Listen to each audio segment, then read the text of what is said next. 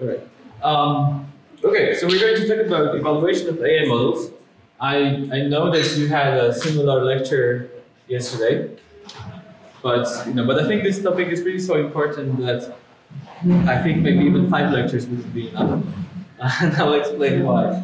Because I think it's actually a very, I think it's a very difficult and a very under, um, I think it's a very underappreciated, the difficulty of this topic is very underappreciated.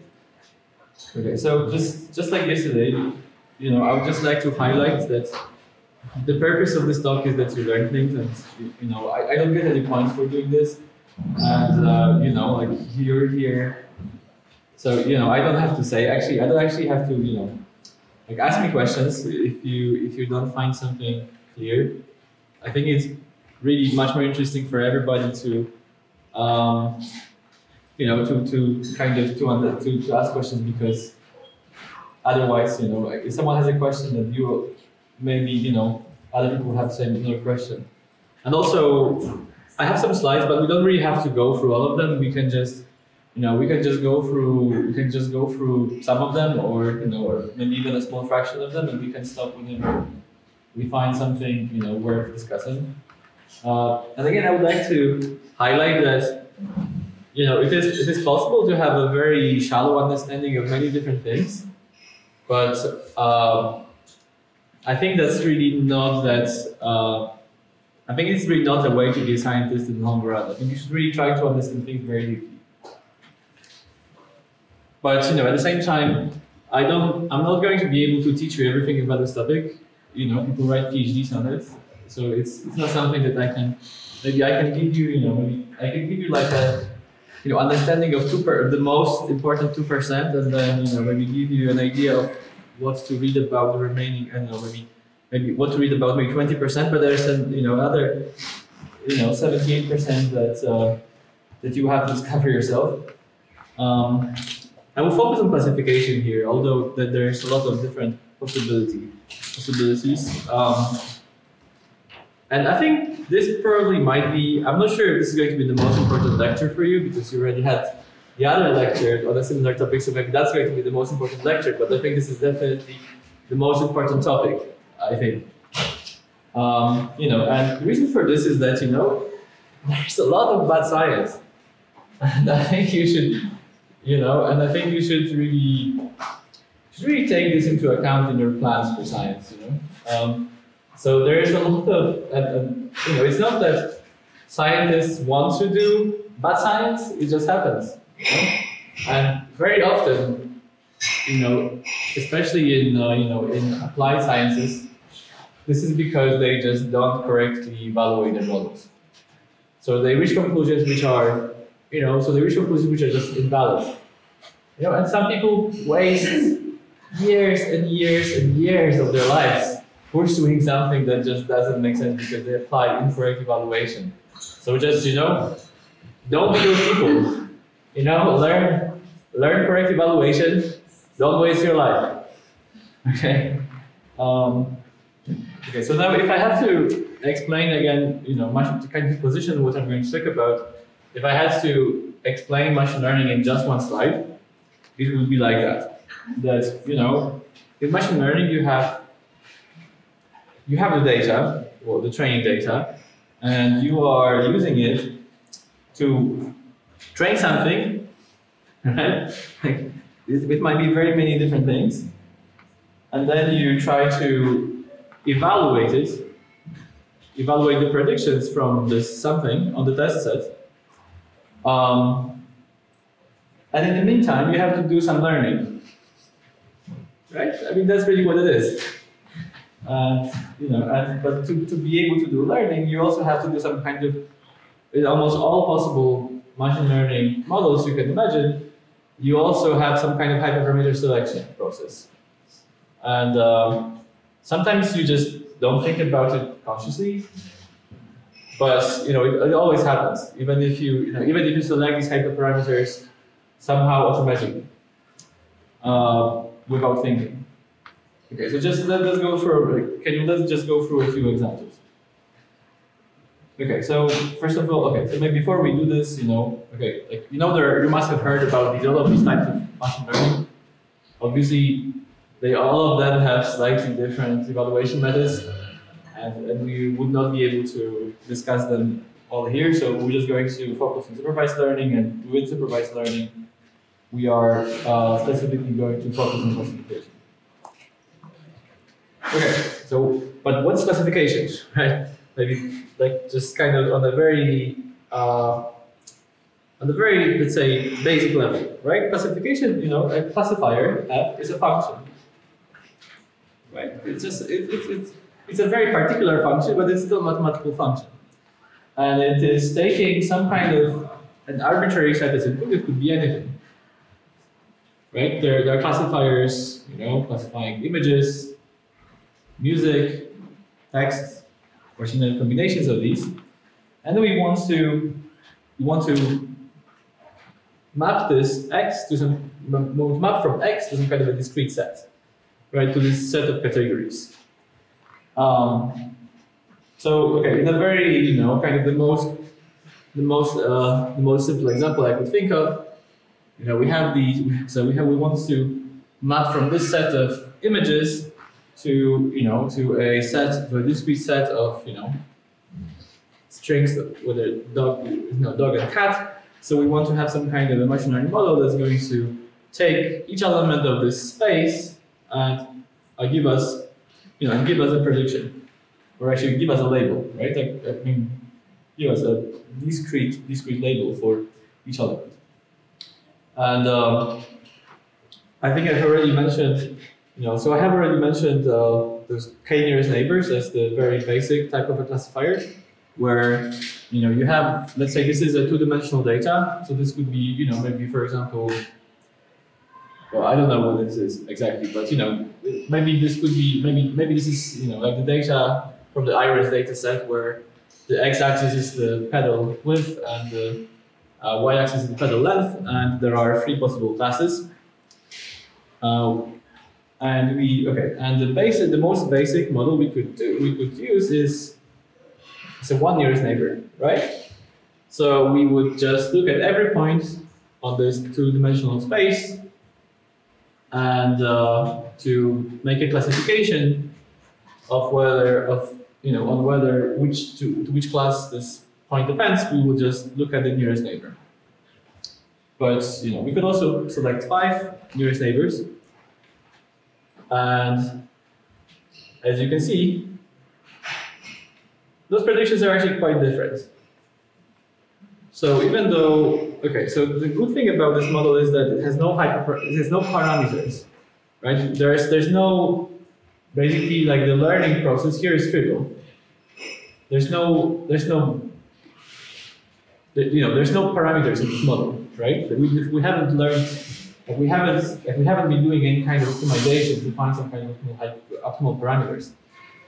But every time we want to make a prediction, we have to do optimization by searching this entire space, right? So if I, so if I look, if I look at this point here, I have to actually, you know, I have to actually look, find five nearest neighbors. And you know, this is easy for, okay, so one, this is easy for uh, low dimensional spaces. But if it's a high dimensional space, possibly, you know, maybe like a space of images, this could be, you know, it could be like a vector of, you know, it might be very difficult to find a nearest neighbor in high dimensional space.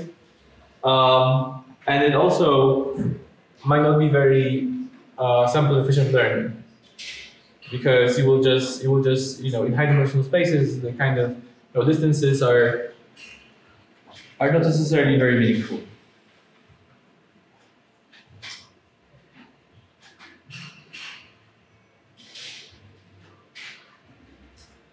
Okay.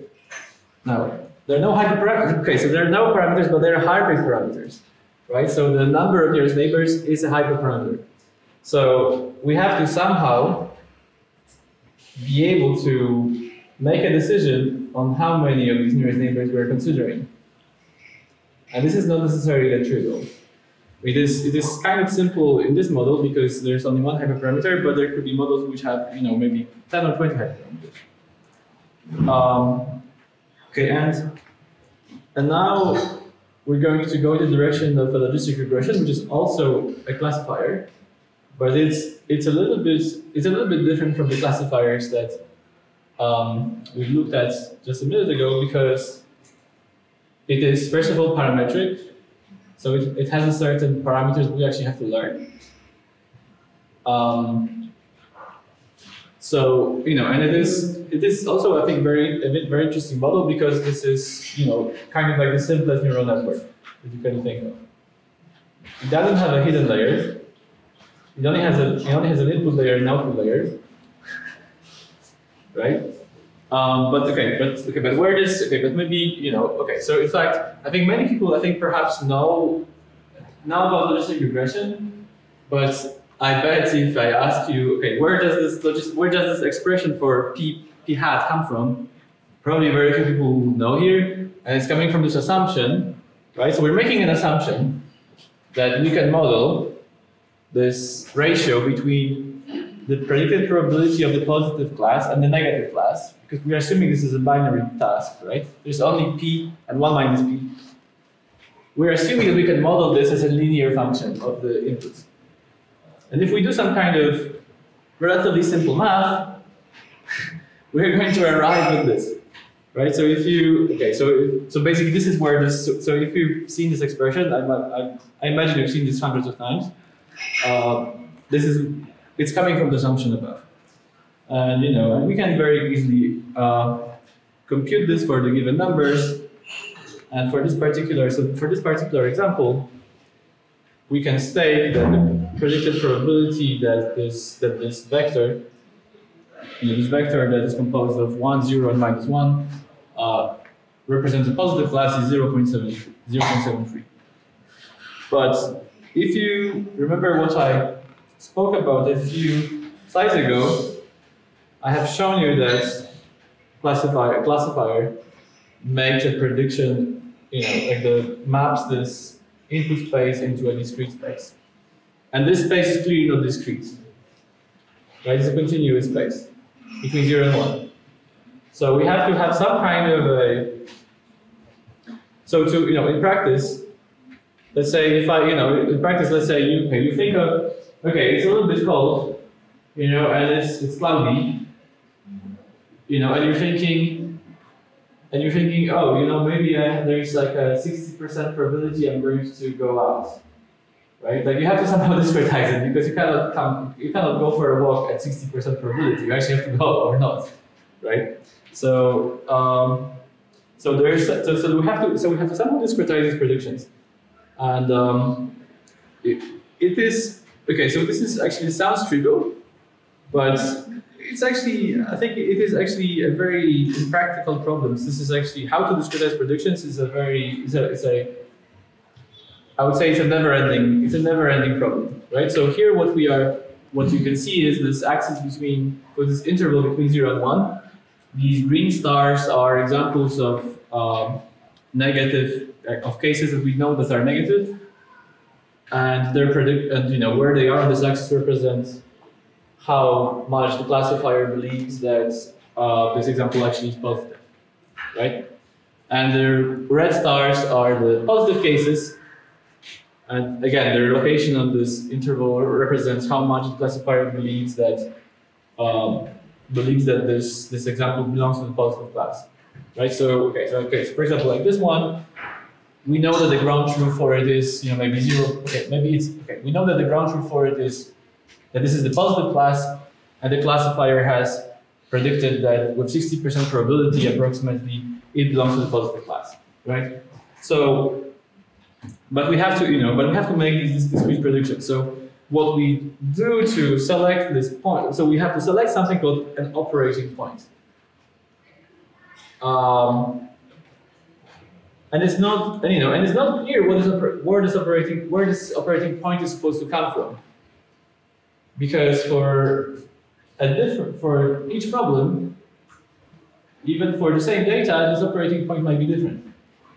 Right? So let's imagine, okay, so if you think, for example, about uh, these being, you know, some kind of, let's say, uh, you know, if, if, this is, okay, basically, just, just say that this is, you know, some kind of probability that uh, you will participate in some event, um,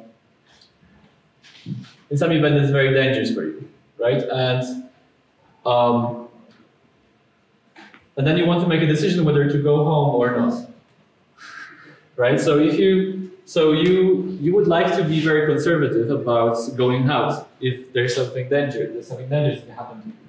So you would choose, you know, so you would choose this operating point to be at a very, you know, to be very low.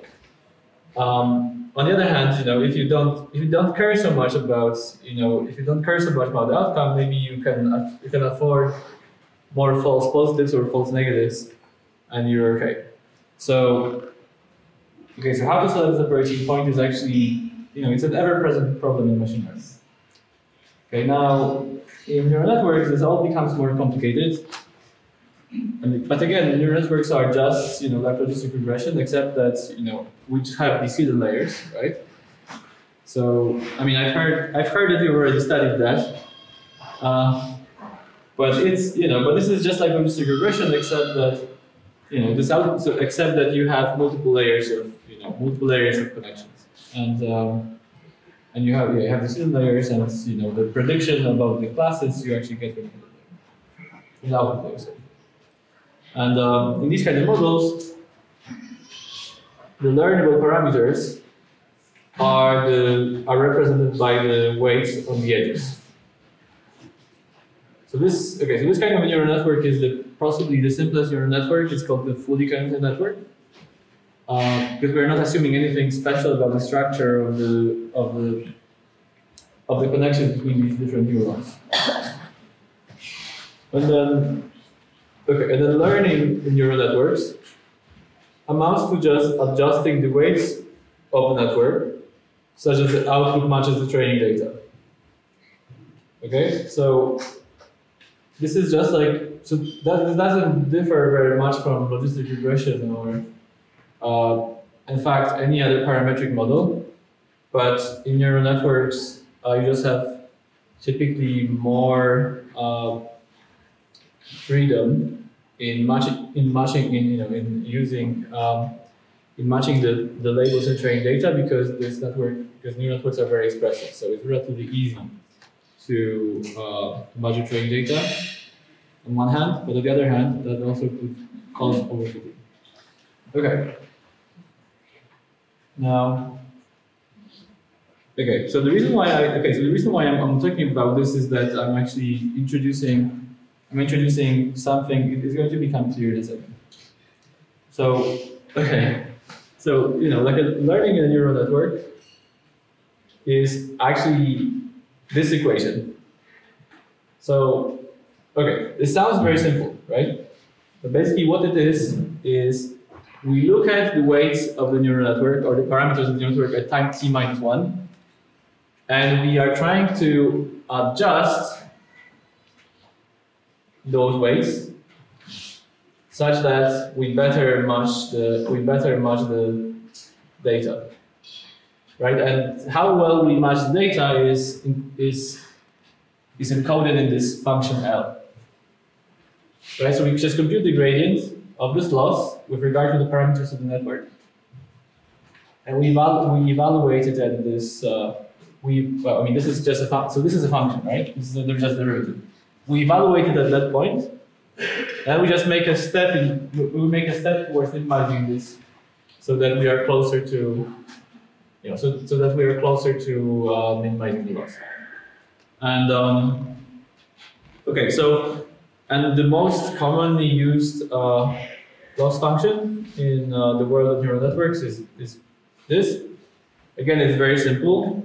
So it is just a okay. So this is just a logarithm of the probability of the correct class.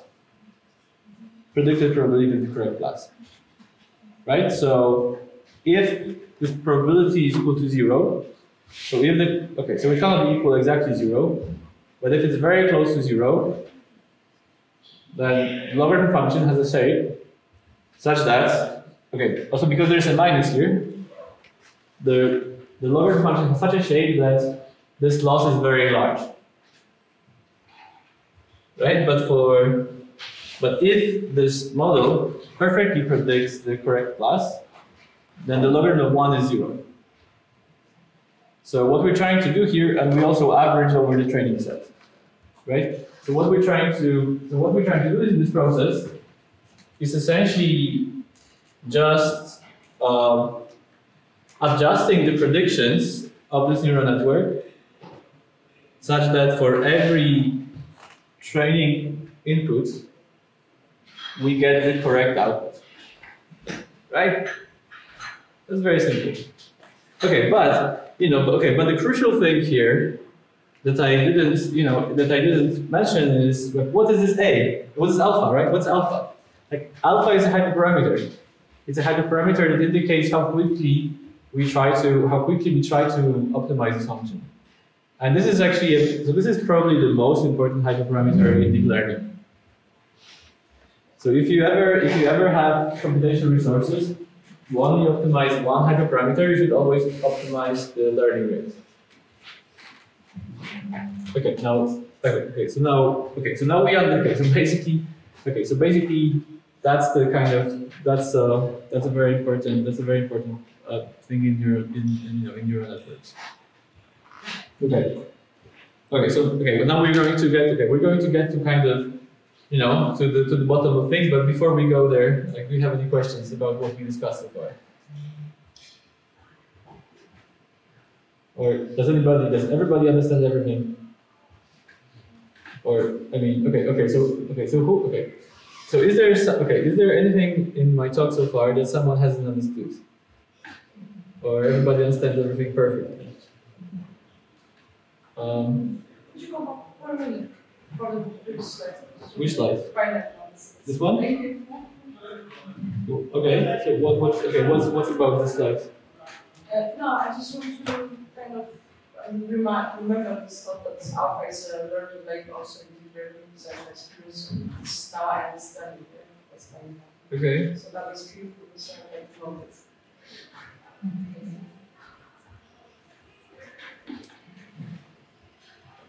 Okay, so no seriously, any questions? Like, everybody understands everything? No? Okay, okay, what do you not understand? I, I had only one year of. Oh, okay. So I mean, okay. So is, so is this? Do you find this difficult? Mm, well, mostly for me, it's like that you are trying to say something, but you're speaking another language. Okay, okay. So let's okay. Let's okay. So let's try to okay. So let's try to okay. I mean, that's okay. You know, like, we have time, right? I mean, look, I'm stuck here, right? It's like what am I going to do? Okay. Okay. So um, okay. So let's okay. Let us go back here, right? Okay. This is a neural network, right? Okay. Maybe this is this is not the simplest one, but this is close to the simplest one. So the simplest neural network is the logistic regression, where we basically take the input, we we take each element of the input. Okay, so let's maybe let's go back to logistic regression. Okay, Can you give an example? Like, I don't know. Okay so what could be input and one could be output? oh, okay, so let's say okay, so here you know, so okay, so here this could be you know maybe okay, this is okay, so maybe let's just say that. Uh, Okay, so let's just say that the input is maybe your weight, height, and age, and the output is maybe the probability that you're going to become a basketball player. Okay, I mean this is so of course if you're you know like really small and very heavy and you're old, you're not going to be a basketball player, right? Probably fairly unlikely. Um, so you know, so, so what we're okay, so so what we're trying to okay, so this is a very simple problem, right? And uh, of course, like I would have to make these, you know, represent age, weight, and you know, age, weight, and height. Um, and of course, you can, you know, you can um, you can come up with other uh, other things that this could be, right? But but basically, the whole I mean, the whole point is that you take this vector, right? This is a vector. You multiply this by some numbers, each element separately right? Okay. You sum them up, and then you put them here as a set, and that gives you the probability. Right? So we say, so it's a, okay, but the, okay, but the important thing about this is that all you do is you just really, you know, you just, all, everything that you have done here is just, you know, like multiplication of, is basically just, what is, what is it called? It- It's just a, you know, it's just a, um, multiplication of two vectors. Right? And then computation of an, so you just multiply these two vectors and then you just, and then you just apply the linear function. Right? So this is, so this is, yeah, so this is and that's it. And you can, you can keep repeating the same thing, right? So there's nothing, there's nothing that stops you from building much more complex networks than this one. And a neural network, you know, okay, so a neural network is essentially just like a supersized version of the same thing. You just don't have to, you just don't have to stop at, you know, you just don't have to stop at just one layer. You can build multiple layers, and you know, and like build a layer on top of a layer on top of a layer.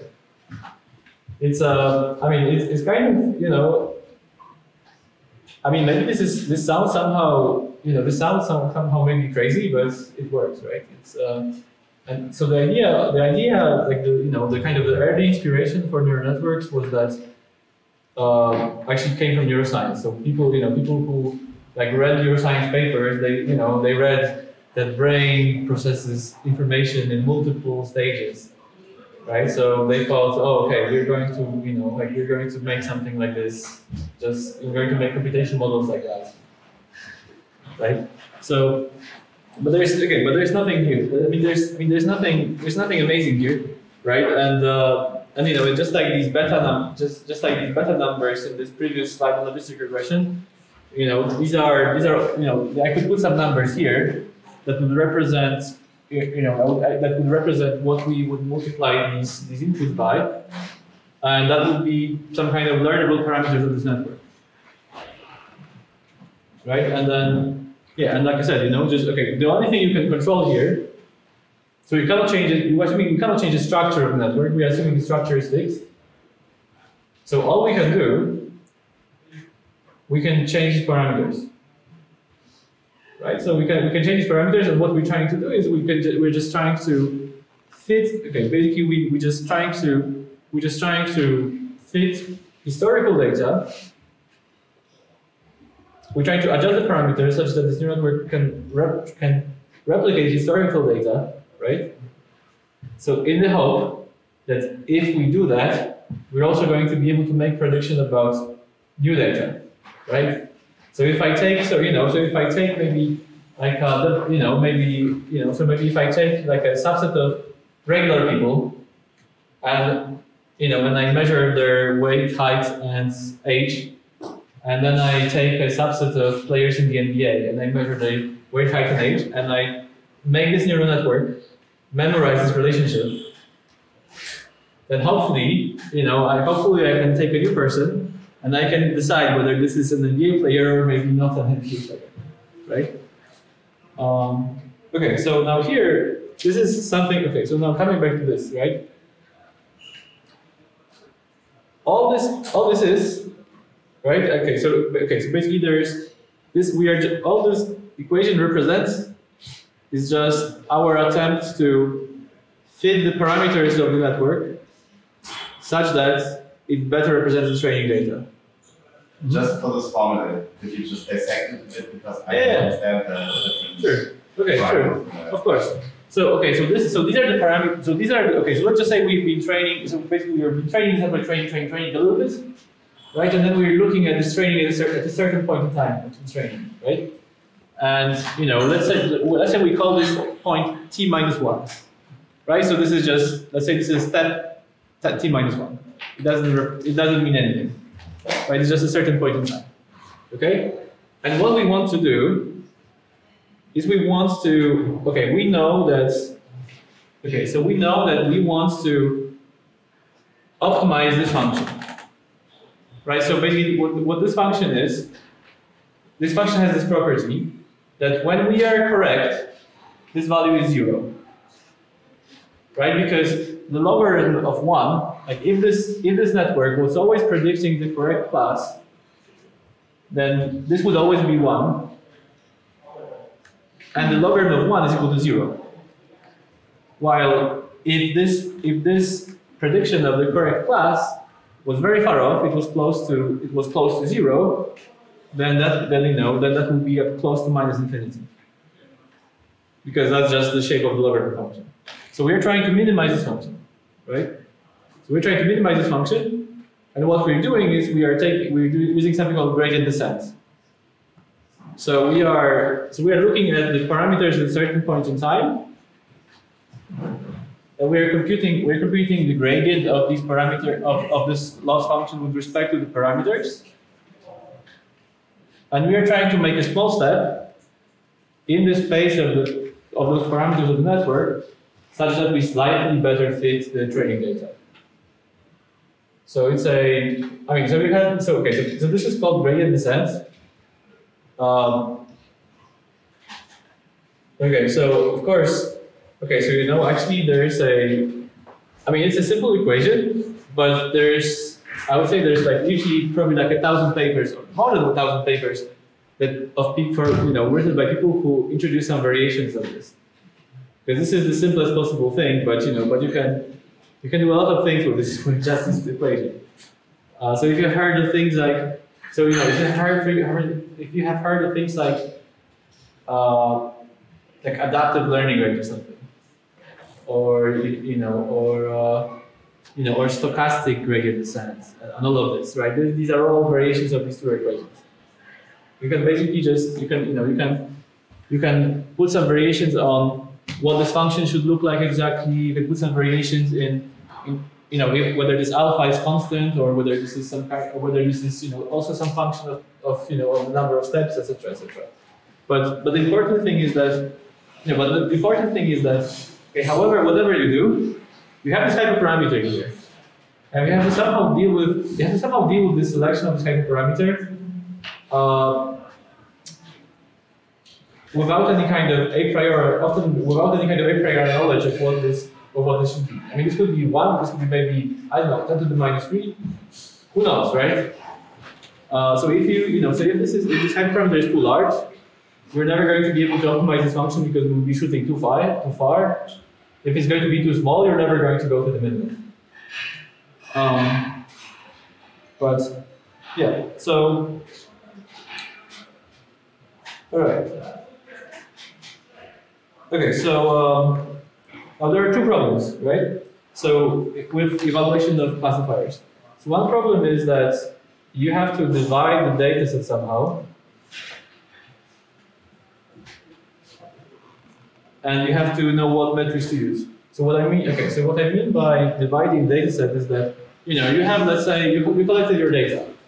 There's maybe, you know, like 100 samples in this data, and you have to, and you have to do training, validation, and test, right? So I mean this is like a classic classic thing you must heard, of.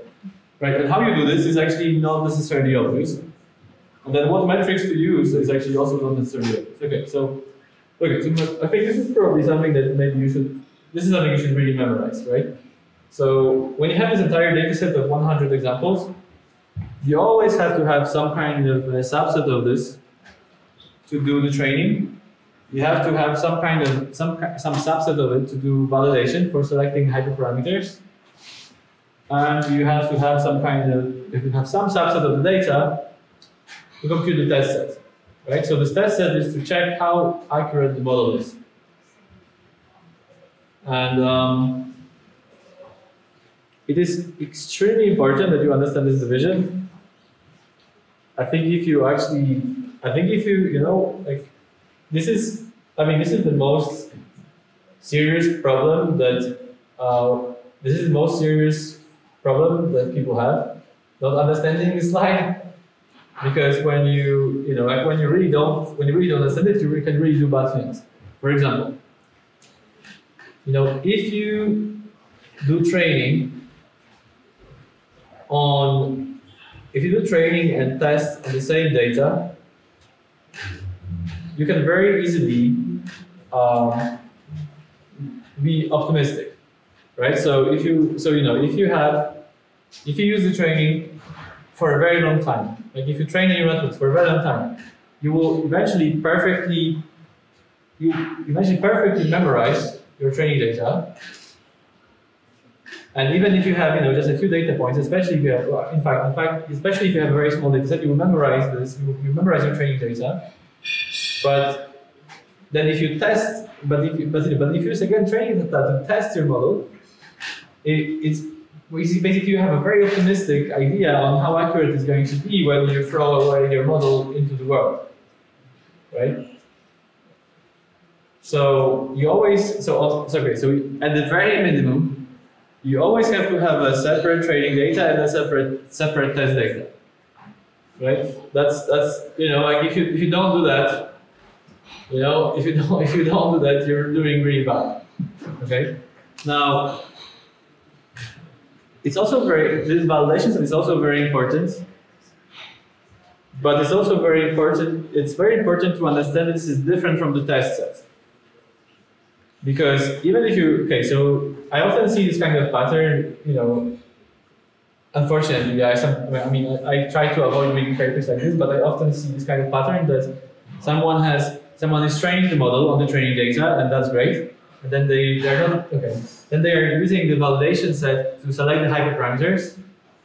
And then what they do, they report, they report the hyperparameter that gave, you know, and the, and the error that gave them the lowest error on the validation set. Right? So this is also not great because you are, even though you are not overfitting to the training set in the literal sense, you're again throwing you're again throwing a dice a few times, and sometimes you're going to be lucky. Sometimes you're going to find some kind of a set of a set of hyperparameters on the validation set that works for the validation set, but it's not a guarantee it's going to work for the test set. Right?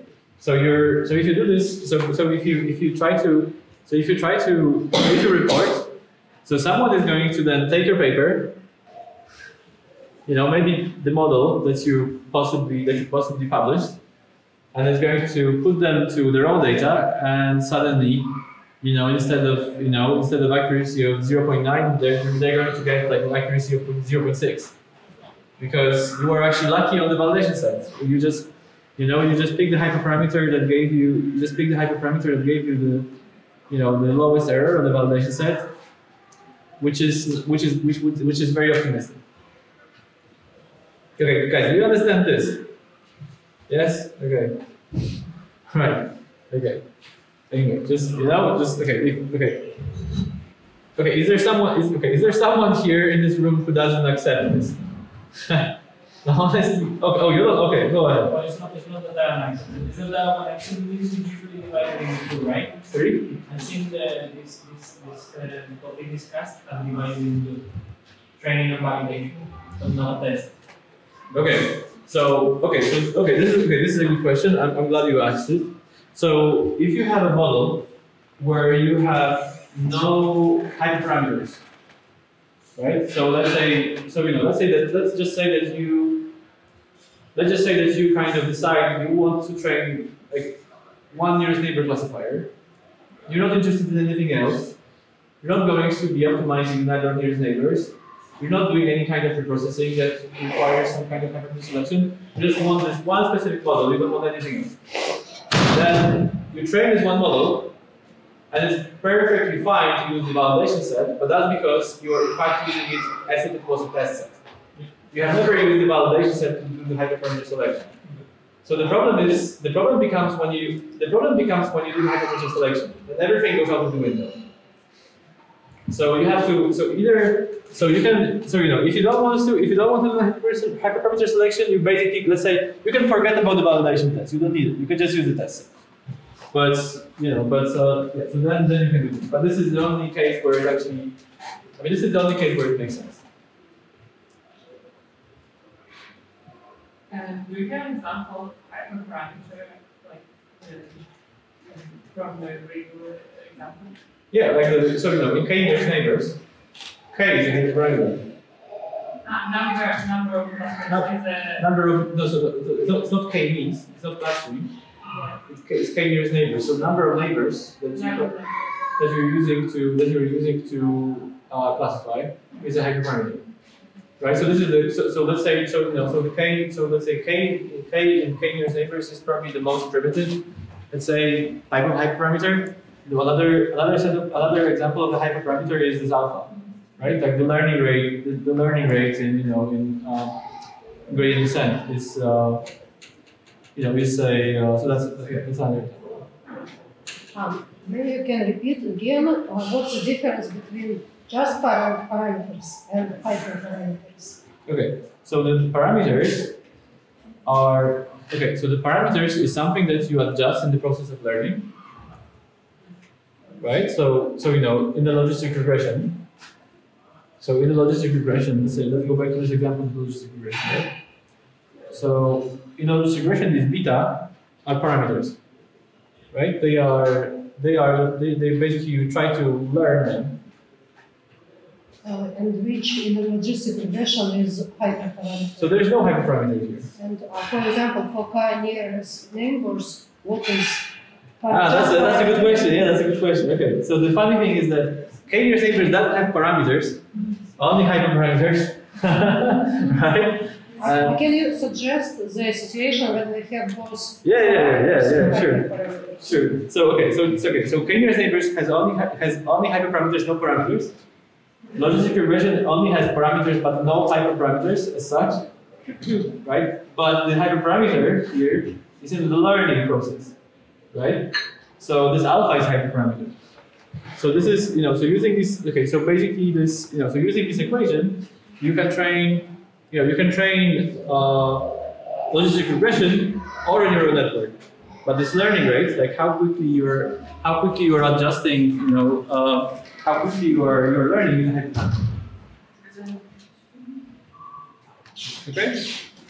Um, yeah. So okay. So so so just just to come back to your question. Okay. So I, okay. So a a parameter is something that you are adjusting in the process of learning to such that such that on the training data, uh, such that you kind of memorize the training data to a degree at least.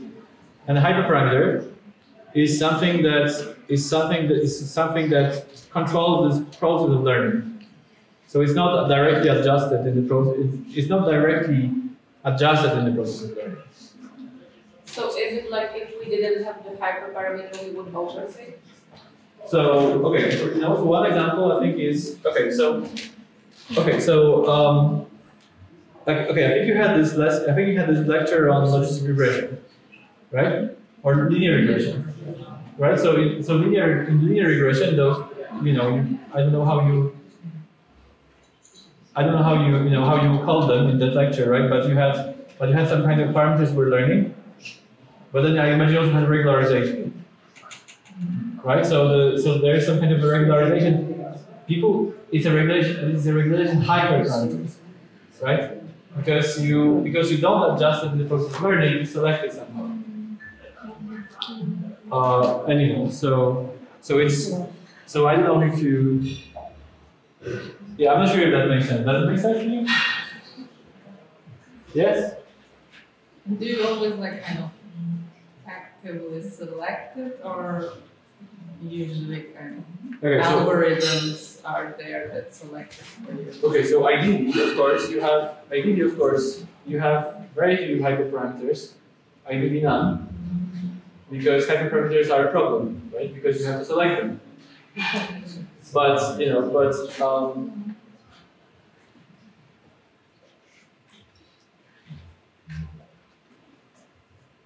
but you, but but you know, but sometimes you just have to have them right? So then, so then you have to you have to have some kind of a mechanism for selecting them.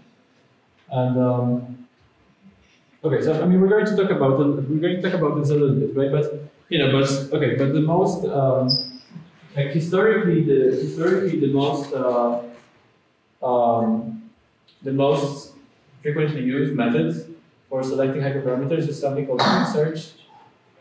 So let's just say you have maybe you know like a few hyperparameters, like, like learning rate or whatever else, or regularization hyperparameters, and you just, you know, you just, you just let's say define five that you try in both, and then you, and you, of course, you have to try all combinations, right? So you have to try actually 25 combinations of the hyperparameters.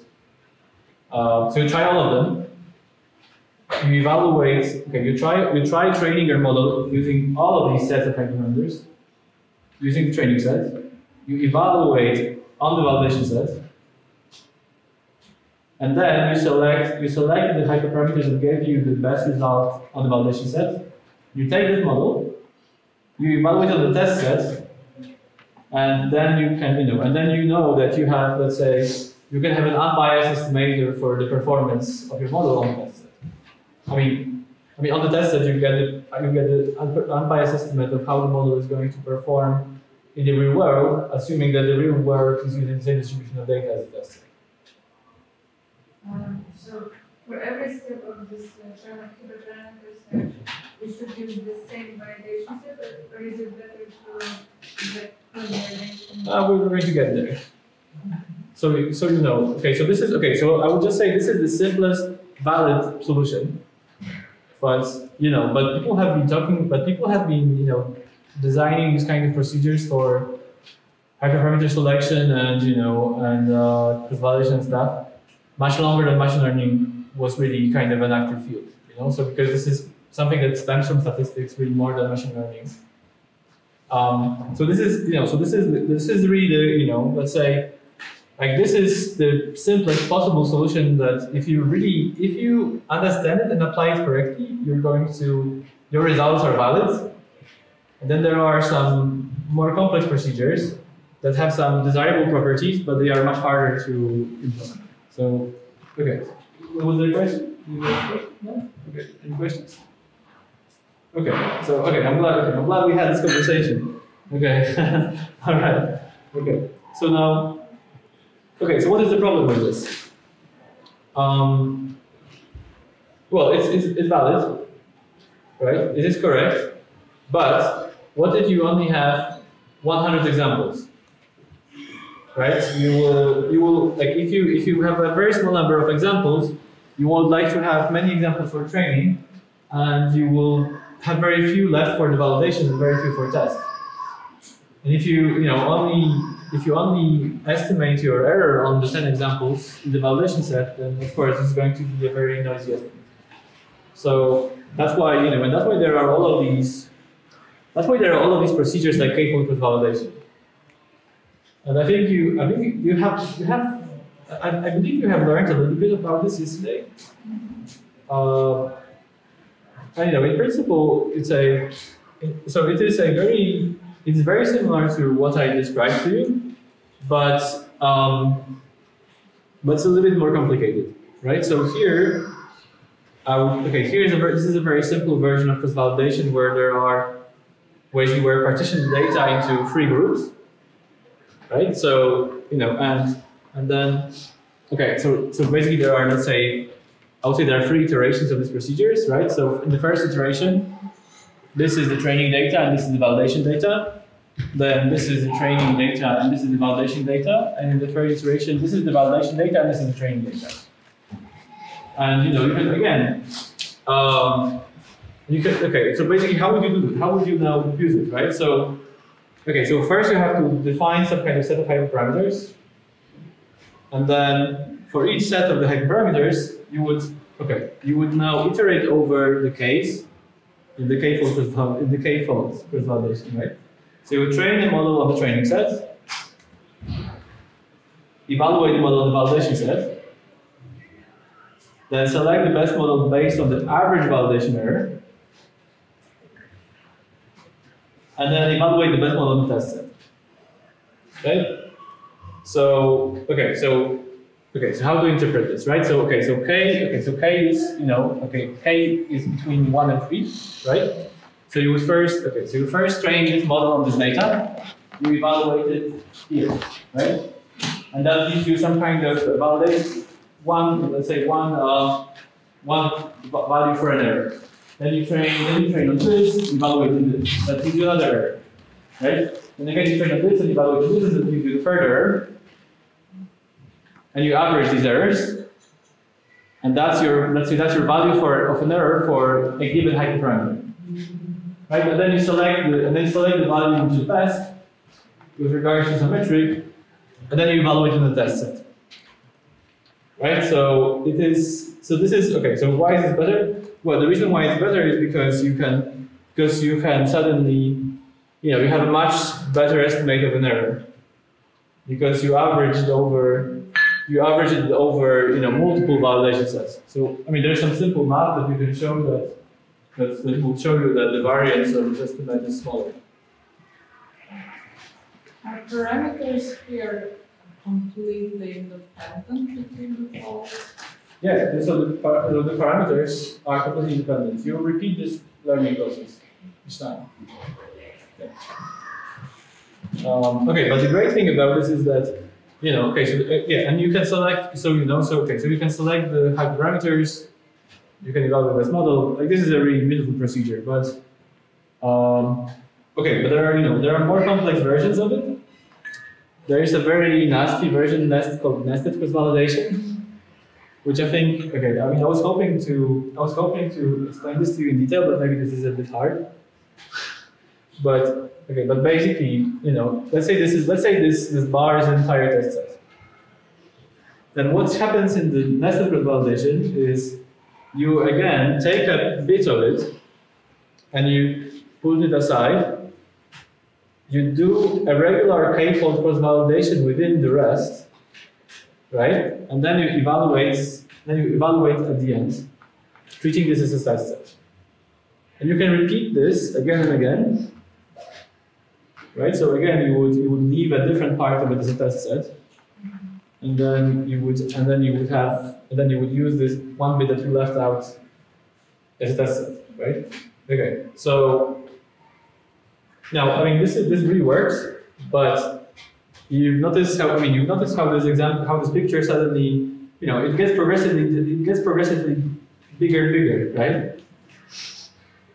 From this one to this one, and there are actually I didn't manage to fit the whole thing here. Right? I would have to I would have to also draw you know like one version of this one version one version of this where you know where this is here and one version of this this is here, right? Um, so you know like this, this kind of becomes computationally intensive, especially if you have to if training the models is, is expensive. Um, but you know, but this is still a perfectly valid. So as long as you do this once, right? So as long as you as long as you evaluate as long as you evaluate this whole thing once, so you use the test set once, it's, it's a valid procedure. But you know, but it suddenly, but it suddenly becomes very slow, right? Because you have to you have to iterate both over. Well, basically, you have to choose one bit of the test of this entire data set as the test set, and then you have to also perform one cross validation every time. So it, becomes very complicated. But okay, but you know, but what I would okay, so what I would like you to I think get out of this picture on the nested cross validation is that you know they're really so I, I you know like there- there is this world of cross validation procedures that's actually very uh, unsettling.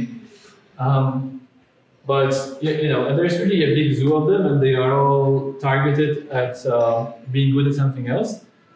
Um, you know, for example, maybe you have heard of Monte Carlo cross validation, leave one out cross validation, etc., etc., etc. Um, I mean, you, you probably won't necessarily need them. I think K- K-fold cross validation is you know the kind of validation that's you know like 90% of examples is actually working very well. But you should know that you know there are other there's more out there, and sometimes a different method might be a little bit more appropriate. Right? Like for example, like if you have a really really tiny tiny tiny set, leave one out cross validation is is often better, but um, that's very slow. Okay, and um, okay, and what I would like you to okay, and what I would like you to remember is that K-fold cross validation is if you forget if okay, so cross validation is a good procedure for selecting hyperparameters, but it, it itself doesn't estimate the test error. Right? So here in this picture, what I mean by that is that you can, you know, within the within within cross validation here, this part, you can you can select the hyperparameters but the kind but the validation error that you that you have here is actually an optimistic estimate of the error. So you can't use this estimate of the error to, you know, to be your, let's say, to be your, like, you cannot put it in your paper as, you know, like your prediction of an error on the, you know, on the new data set. You actually have to, you actually have to have a test set set aside, and you actually have to evaluate your model on the separate test set. Or otherwise, you, know, otherwise you are, otherwise, you know, you fall into the bucket of bad science. And that's not good. Okay. And you should only evaluate the model of the test set only once. Okay? Just one question, result with the, the cross validation type of thing. How much can you overcome the, the size of your task? Oh, I mean, you can is, well, I mean, look, so, of course, if you have like 10 examples, no matter what you do, you're, you're, you know, you're going to lose. Mm. But, you know, but I think cross validation is very useful. Okay, so, you know, in this setting, right, like in the setting where you have just one validation, training validation test set, you know, like if you have like a few hundred examples, you're typically, you know, you're typically not going to be able to do very much with it. Because this validation, because, you know, because this, because this, you know, this validation error is going to be very noisy, so you're not going to be able to really select these images very well. So I would say that, you know, cross validation is incredibly useful. You know, in this kind of in this kind of range, when you have this kind of range of examples that is, you know, often seen in practical problems in biological sciences, when you have like a few hundred examples, like that really that really helps in these kind of settings. So, um, so I think you know it's very useful, and I think you should use it if you can. Okay, now. Okay, so. Okay, yeah, and now okay, but, but one more important thing to remember here is that you should evaluate the model and test it only once. Okay, so and, and why? Because if you evaluate your model on the test more than once, then your test set actually becomes some sort of a weird validation set. So, so you know, so so like a, so basically like a you know like a correct way of you know like a correct way of running a project would be that you put some test set aside, you don't look at it, you know, never never look at it. basically, just only look at only look at your test set when you think you have your final model, and you want to really estimate like how good this final model is. Right? That's I mean, or if you're going to, you know, it, it's hard, right? You have to you have to somehow restrain yourself not to look at test set. It's difficult, right? You know. So, but this is how but this is how it should be, so that it is really the real test set. Okay. And now, okay, you know, so so cross validation, you know, it's a great procedure, but it's a little bit cumbersome doing it for a variety of reasons. So you should use it when you don't have large enough validation and test sets. But you know, but let's just say that if you're training models on, you know, like millions and millions of you have you have like millions of data points, and, you don't need cross validation because these problems just disappear, right? Like you have you can have good estimates of the validation error. Uh, you know, if you like, uh, if you have if you can have good estimates estimates of validation error on your data, then what's the point of you know having this validation? Okay, so now the second problem, right? So what metrics to use? Okay, so I'm just going to assume that we have binary labels. Um, and you know there are generalizations of these metrics to to you know to labels which are not binary, but I think just understanding the binary cases you know is difficult enough. So maybe we're just going to focus on this. Okay, so okay, th- th- there's a missing parenthesis on the other side. But okay, so accuracy. Okay, so this is the most important picture. You have to keep in mind. You know, actually, I I, I always I always forget, so I actually always have to copy this for myself. Um, but you know, but okay, accuracy is probably the metric that you're familiar with. Basically, you you know you you compute the number of the examples that you correctly classified, whether these are true positives or true negatives, and you divide it by everything. Right. So this is kind of okay. So this is the, the most standard metric.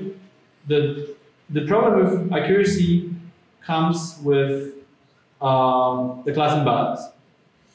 So, for example, so think about it this way: if let's say, if I want to build a classifier that is classifying whether someone has some incredibly rare disease, then if I always say, okay, and you know, and, and okay, so if I say you don't have this super rare disease, I'm always going to be almost 100% accurate, right?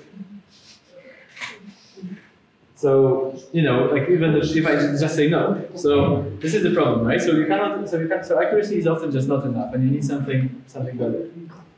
Um, sometimes people also use this thing called negative log likelihood in the context of classification. So basically, they just negative log likelihood is is this function that I okay, this function this function here, except that um, normally people use it for training, but there's, you know, like an, it's a little bit exotic, but people also apply this to the test set.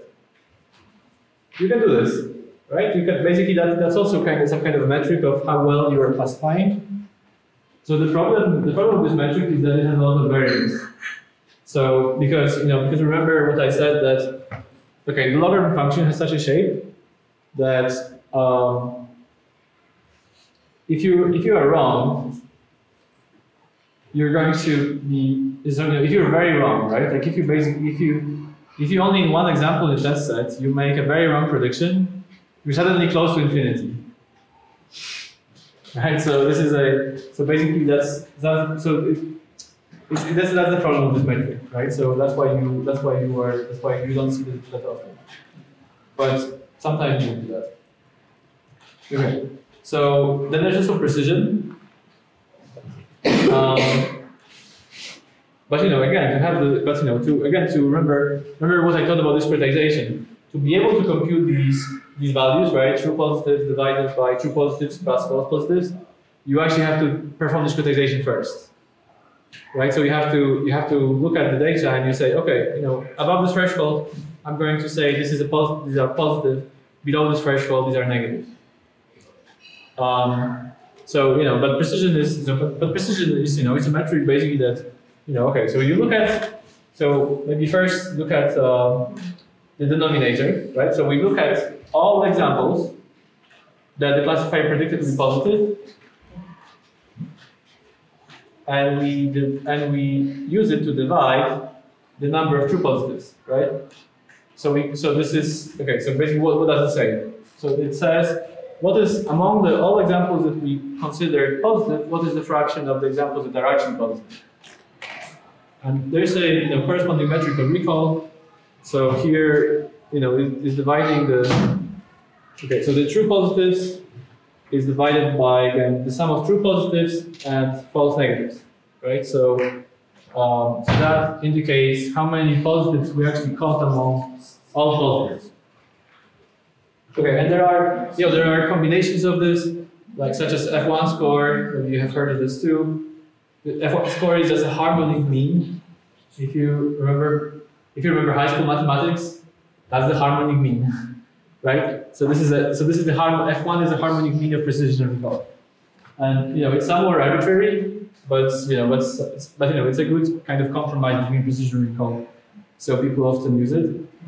But you know, but okay, but uh, probably something that you have heard of the most, maybe even though maybe you don't yet understand what it is, is the something called some people call it AUROC, some people call it ROC, AUC. I'm not really sure what's the kind of you know what the statisticians would really call it, but there's this you know uh, there is this uh, something called receiver operator receiver operating characteristic curve and you can compute an area under that curve, and that's somehow that's sometimes referred to as AUC.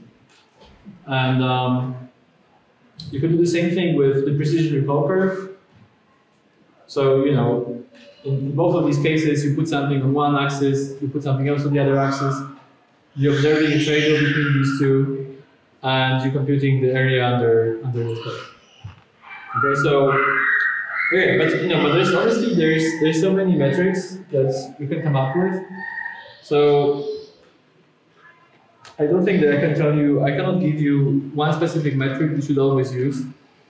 So this is just you just really have to understand what is important for your application to be able to, to be able to select a metric. I think probably the you know the receiver operator characteristic curve is something that is often appropriate. Um, okay, so I guess I guess you probably have seen this yesterday, right? Have you seen this yesterday? Huh? Yeah. Sorry? Yes. Oh, okay, okay, okay. So, uh, do you think? Okay, do you think you understand everything about this? Sorry? Yes? Huh? We asked, uh, we understood everything. I mean, do you? Okay, I mean, so okay, okay. I know, I know. This is a very, I know this is a very bad. I mean, this is a very bad question, but I asked him on purpose. No, I think you know. So I think this is something that.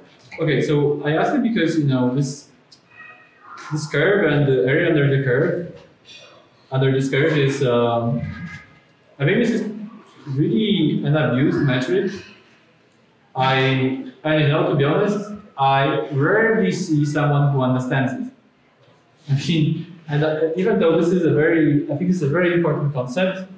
So, you know, I, I, see a lot of people who I think, especially, you know, if you look at the, if you look at papers in, you know, like biological sciences or medical sciences and all of these kind of application side, you know, applied sciences, like this is a, this is something that comes up over and over again. You know, there's like usually maybe you know 50% of the papers mention this, but it has some really funny properties that I will I will show you some of them just to kind of just to surprise you. Um, okay, I think you wanted to ask a question. No, I just trying to eyes. Sorry. Oh, okay, okay, okay, okay. All right. Okay. So, okay. So you know, okay. I'm, I'm going to. Okay. So first, we'll, we'll begin by trying to compute it. For an example, right? So let's go. Okay. So we have. So we have these predictions. So remember that this is on the interval between zero and one, um, and the and we know that the red stars indicate the examples for which we know that they are positive, and the green ones indicate that they are negative. Right? But the but the and the point at- on this on this interval indicates the prediction of the classifier. Okay? And we just want to compute an AUC for for this example. Okay, so how do we do it? Right? So okay, so we, we go back to the definition and um, we consider Okay, now the important thing is that AUC considers all possible thresholds, right? So it considers basically everything here being negative, everything being positive, right? Everything be everything here being negative, everything here being positive, everything here being negative, everything being positive, etc., etc., etc. So there is, you know, so there are as many, you know, so there are as many possible thresholds as, okay, so there are as many possible thresholds as number of the test example plus one, right? You can put you can put this anywhere.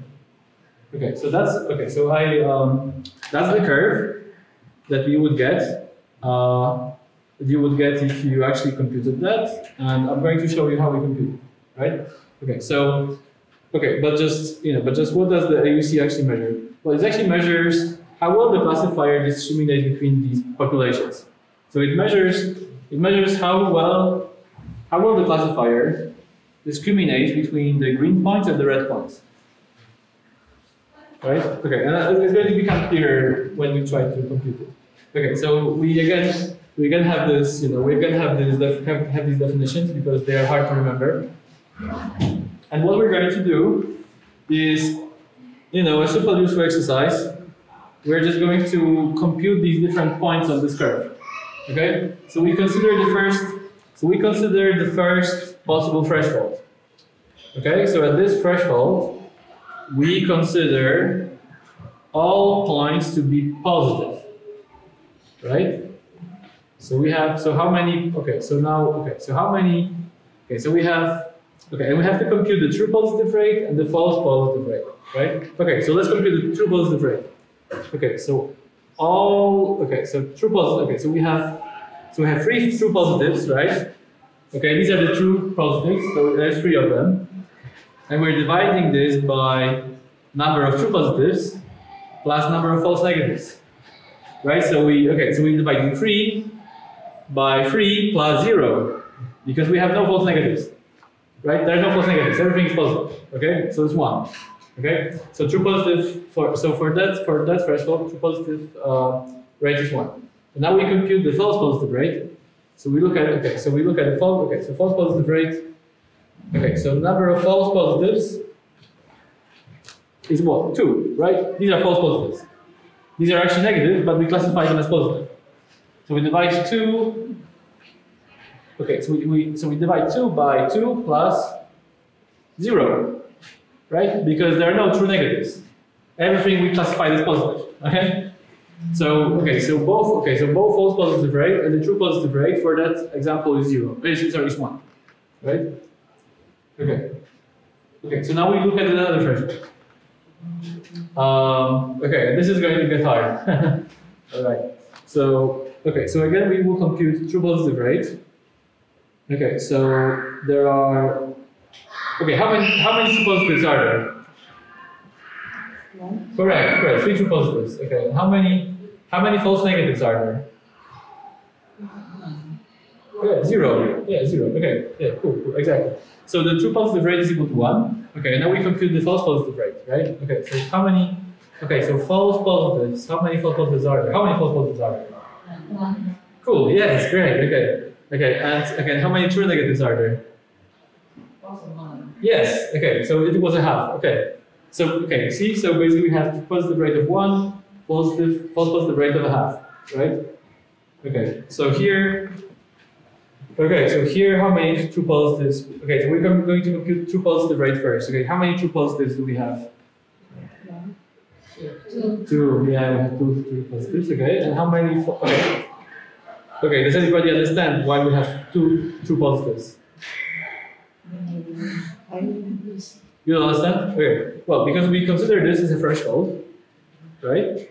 And we look, and according to this threshold, we classify everything right of this threshold as positive. Right? So, and we know that the ground truth for these two examples is true, is positive. So we have, so among these three examples that we classified as positives, only two are, uh, only- only two are true positives. So that's why the, yeah, so the true positive rate is equal to two. Okay, and the false negative, how many false negatives? How many? One. Yes, exactly. Exactly. So the true positive rate is equal to two thirds. Okay, the true okay, the false positive rate. Okay, false positives, how many? How many false positives? One. One, yes, okay. One false positive and true negatives. One. Yeah, exactly. Yeah, see, okay, guys, you understand how to compute it. Okay, cool. Yeah. So you know, we can just keep we just keep repeating this, right? And we're going to get this curve. So okay, so notice that basically what we are what we're really computing is among all possible thresholds.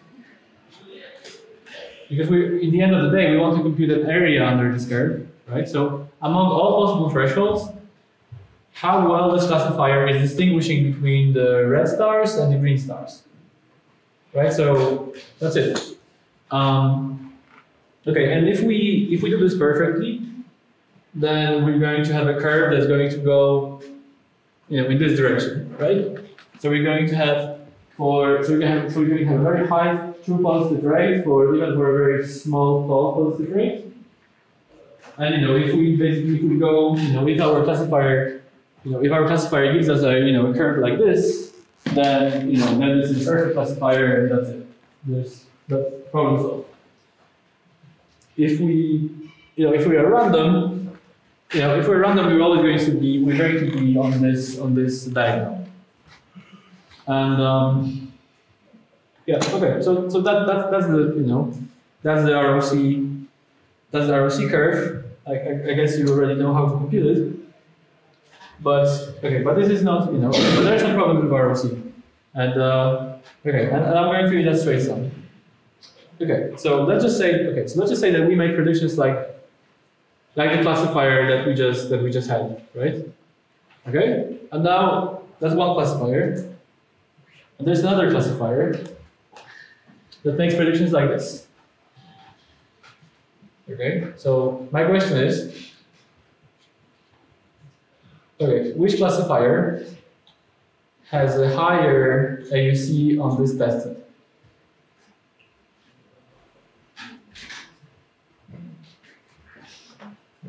Okay, yeah. The second one. Oh, the second one. Okay, why do you think so? Yeah, because it's like each like exactly the same data set, and basically we had like higher points uh, in the previous error support. And like we will have like for the A, like the first like four trans transforms, we will have like higher points. So it looks like a good classifier.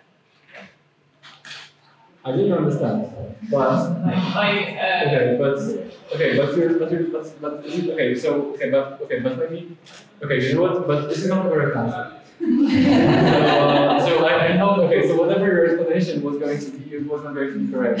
Uh, but okay, but you know, but okay, but anyway, you know, like congratulations for trying. You know, like that wasn't that wasn't easy. Okay, that's that's that, took some courage to you know some courage to you know to try to answer. Okay, so so this okay, so classifier. Okay, so basically I, I just said that. Okay, I just said that um, this classifier doesn't have a higher AUC. Okay, now who wants to make who wants to make the alternative guess? okay, okay, you want to okay. Okay, Why? A has a higher risk because in B you see that there is false uh, positive. Sorry? If, if I understand correctly, in the variance B, uh, it should be the have like two false positive or two false negative. Oh, okay. So okay. So okay. Okay, so in the most okay, so this is this is possibly the most surprising thing you're going to hear during the summer school. But their AUCs are identical. Do you believe that? okay, so okay, so It depends how you threshold. sorry? Exactly. Well, exactly. The AUC. That's the, that's the whole point, right? So AUC is evaluated for all thresholds, right? So okay. So okay. But for any okay, look. So for any threshold, for any for any possible threshold you consider, like all of these calculations are going to be identical, right? Like because the order is the same.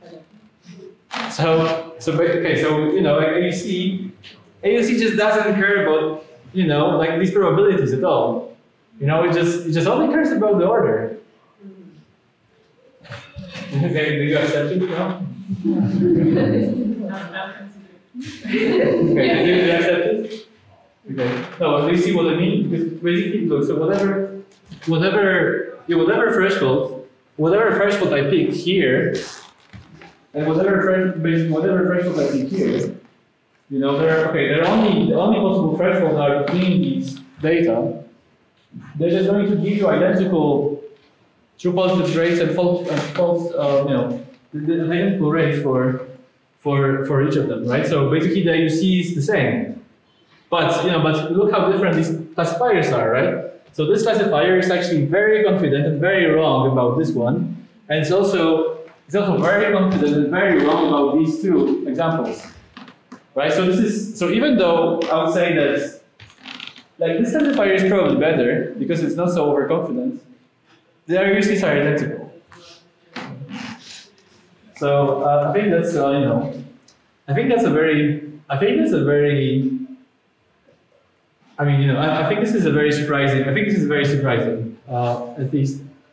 You know, I think this is a, at least I think it's very surprising if you never considered how AUC is computed.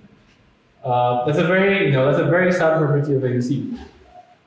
Okay, and the other ones are probably not as sad. Okay, so the other thing is, okay, so here this is a graph from, from my paper. Uh, GMIC is a type of a classifier, DMV-CNN is a type of a classifier. Average reader is, you know, it's like human, it's a human evaluator, evaluator. And then hybrid is a mixture between, uh, I think GMIC and the reader. So we can, okay, so we have all of these, we have all of these, you know, these ROC curves for, um, for, for these different models, right? Because we can consider humans, if they make probabilistic predictions, also a machine learning model, maybe not a very perfect one.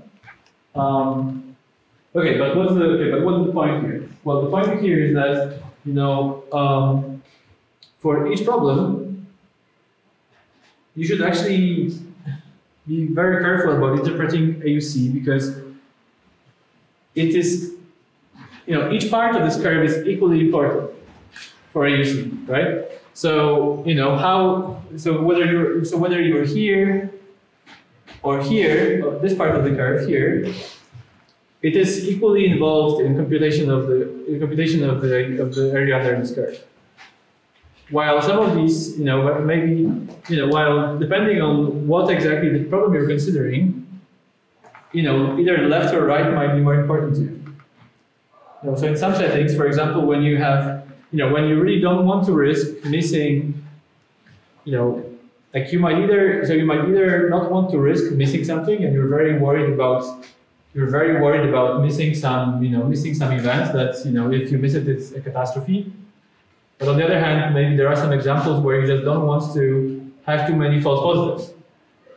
Right? So there are different settings, and you should sometimes look at different parts of this curve. And uh, sometimes people do this, it's called partial AUC, where they either, for example, consider like this kind of only this part of the curve or you know, or on the area under, you know, like here.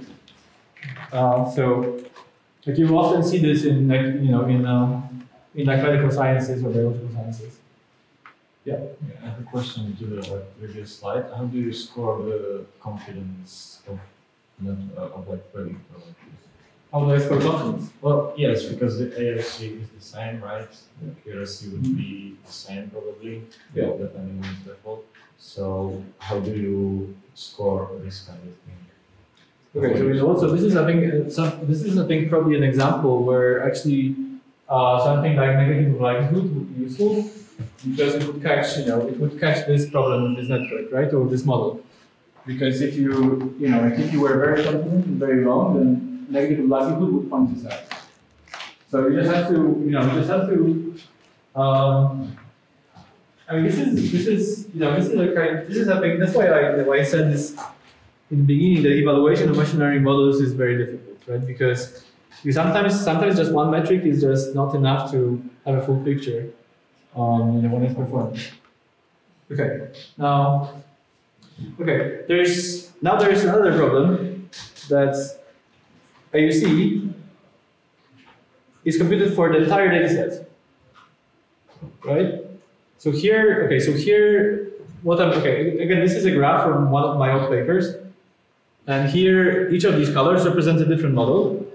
So we have, you know, so we have four models, and we have two ways of dividing people, right? So we have dividing, we can divide them according to their age, or we can, can or we can divide them according to their density of their breast. So like density of the breast is something considered that it's a considered uh, commonly considered as if someone has very dense breast, they are more likely to get cancer.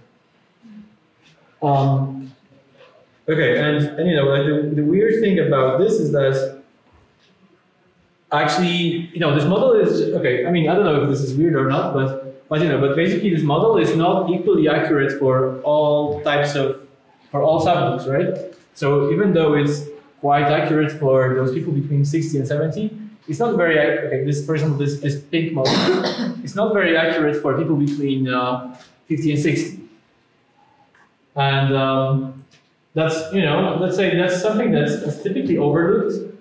But you can imagine, you know, but you can imagine some very nasty consequences of this. For example, you know, I mean, in, in machine learning, it's very common to, um, you know, let's just say, for example, if you want to, you know, if you train your model in, you know, like in, in Poland, right? And then you deploy it, in Africa. You know, if you never tested, you know, if you never tested your model on a certain group of people, it might suddenly turn out that even though it maybe worked very well for Polish people, maybe it doesn't work for people in, you know, South Africa, for example. Right? So AUC is just some AUC just, you know, it agglomerates all of these kinds of subgroups and it doesn't show you anything about how well it how well it works for a specific type, for specific uh, subgroups of people or some, some kind of some other subgroups. Okay, does, does this make sense? Okay, and um, okay, so one more example. Okay, so maybe just to conclude um, slowly. There's okay. Also, there is a, there is some variance associated with uh, with uh, AUC. You know, there is a true AUC that the classifier has, but we'll never know what it is, right? We can only because we have a small test set on which we're trying to estimate it. This true AUC will this this true AUC is hidden for us. Um, and you know, it has some variance, and we just, you know, we don't know exactly what it is. It might be quite large. Okay, and now a final surprising property.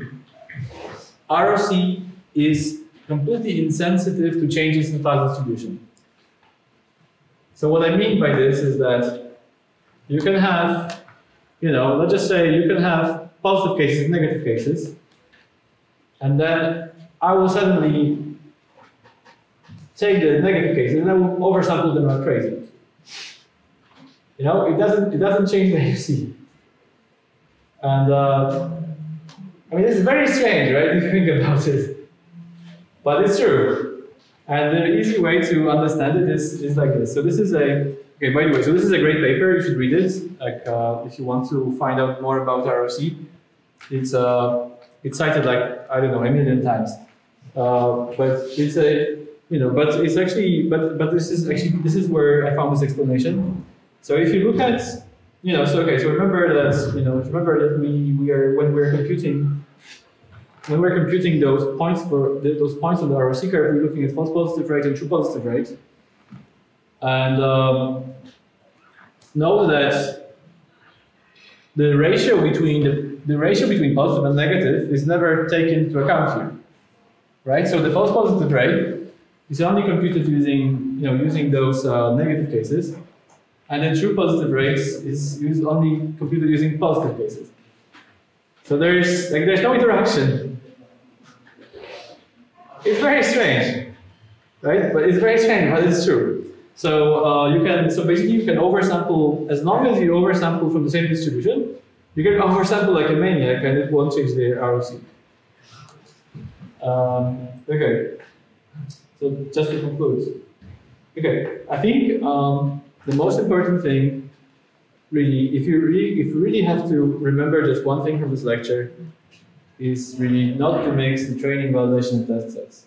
Okay, if you ever, if you ever plan to do this, you know, think about me, and, and then you don't, and then don't do it. You know, because you're making me sad if you do it. Okay.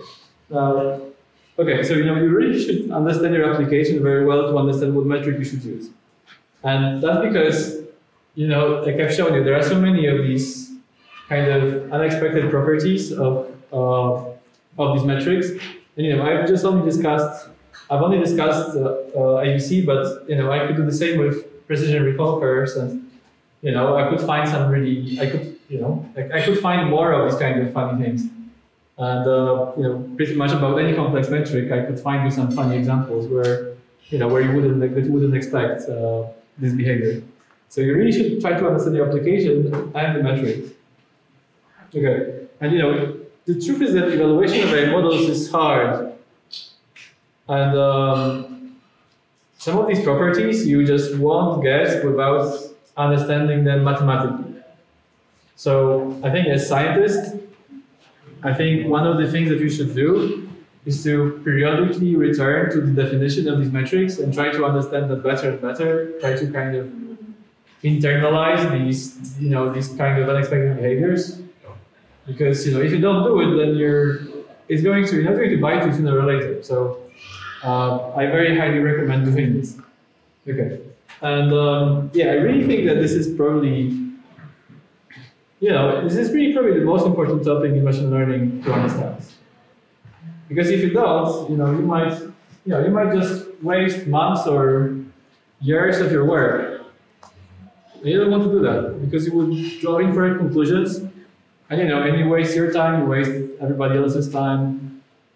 You know, so don't do it. Try to understand this very well. Thank you. Okay, and actually. You know, if I just if I have just one one final piece of advice for you, you know, start your Twitter account very early in your career is very useful. You know, it's very useful to, and it's actually, and I think Twitter is very like you can keep up to date with, uh, you know, with latest research. I really like it, so you should, you know, you should really do it, and you know, um, yeah. And uh, anyway, thank you very much.